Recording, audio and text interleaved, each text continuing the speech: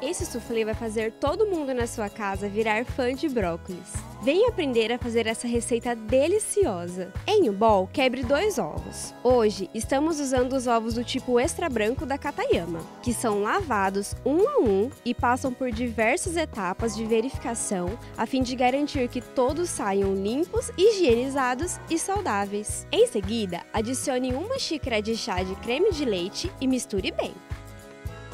Após misturado, tempere com sal e pimenta do reino a gosto e acrescente duas xícaras de chá de brócolis cru. Por último, adicione uma colher de sopa de fermento químico e misture bem.